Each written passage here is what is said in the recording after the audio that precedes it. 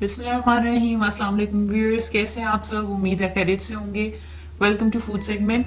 आज हम आपको सिखाने वाले मायनीस के साथ दो डिफरेंट किस्म के डिप्स बहुत ही इजी और जल्दी से बनने वाली डिप्स हैं ये। और आपको पता है कि हर घर में शॉर्मा बर्गर इस टाइप की चीज़ें आज के यंग बच्चे और उसके अलावा टीनेजर्स वो बड़े भी खाना बहुत पसंद करते हैं। और अब लोगों को प्रेफरेंस है कि घर में बना के ये चीज़ें इस्तेमाल किया करें।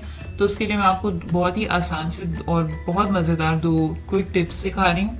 तो चलिए शुरू करते हैं दोनों मायनीज में इसमें सबसे पहले जो हमारा है, वो वाइट डिप है हमारा। ये काफ़ी हद तक जो है, अगर आपने कभी खाया हो तो के के जो ट्विस्टर्स होते हैं के के चिकन रोल्स होते हैं, उसके अंदर जो यूज़ होता है वाइट डिप बिल्कुल उसके जैसा है। तो मैं रिकमेंड करूँगी कि अगर आप घर में क्रिस्पी चिकन ट्विस्टर बना रहे हैं या फिर क्रिस्पी चिकन रैप्स बना रहे हैं तो उसके साथ ये कॉम्बिनेशन बहुत अच्छा जाता है। उसके अलावा बर्गर्स में भी अच्छा लगता है चिकन बर्गर्स में बीफ बर्गर्स में अच्छा लगता है। तो सबसे पहले आप यहाँ पे माइनीज डाल लेंगे, इसके अंदर हमने ऑलपर्स की क्रीम इस्तेमाल की है। हेवी क्रीम बेसिकली हमारा मकसद था इस्तेमाल करना तो ऑलपर्स की क्योंकि हेवी क्रीम अवेलेबल होती है तो हमने वो इस्तेमाल की है। उन दोनों को हमने मिक्स कर लिया है, इसके अंदर हमने काली मिर्च डाली है, पिसी हुई उसके अलावा सफ़ेद मिर्च पिसी हुई ऐड की है। इंग्रेडिएंट्स की मकदार कितनी है, वो हमने डिस्क्रिप्शन बॉक्स में भी लिख दिया स्क्रीन पे भी आप देख सकते हैं। तो इसको भी हम अच्छे से मिक्स कर लेंगे। यहाँ पे हमारे पास हमारा तकरीबन पहला डिप तैयार है।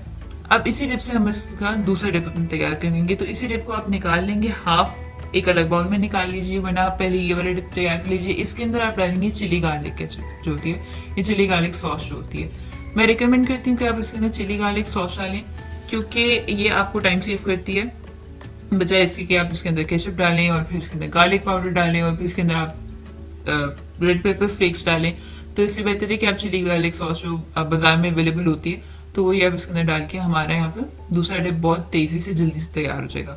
तो ये दोनों डिप्स जो है मैंने आपको पहले भी मेंशन किया क्रिस्पी चिकन रैप्स के साथ बहुत अच्छे लगते हैं। उसके अलावा अगर आप चाहें तो चिकन पॉपकॉर्न के साथ इसको ट्राई कर सकते हैं। उसके साथ भी बहुत अच्छा लगता है। एक का फ्लेवर थोड़ा क्रीमी है, एक का फ्लेवर टैंगी है तो आई रिकमेंड कि ज़रूर ट्राई कीजिएगा। दोनों टाइप्स की सॉसेस बहुत अच्छी लगती हैं।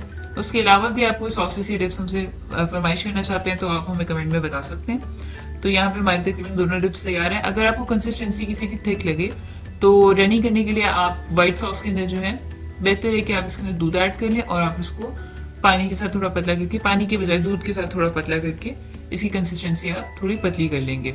वरना जो आपको टेंगी डिप है चिली गार्लिक सॉस वाला, उसको आप ऐसे ही रहने दें, क्योंकि उसको सॉस ही थोड़ा कम पतला कर देती है। तो यहाँ पे हमारे दोनों टिप्स तैयार हैं। ज़रूर ट्राई कीजिएगा। बर्गर्स के साथ बन कबाब के साथ बहुत अच्छे लगते हैं। इसमें चिकन ट्विस्टर्स के साथ और पराठा कबाब के साथ ये कॉम्बिनेशन बहुत अच्छा जाता है। वीडियो देखने का बहुत शुक्रिया। लाइक और कमेंट कीजिएगा। और हमारे चैनल को सब्सक्राइब करें, दोस्तों के साथ शेयर करें। शुक्रिया।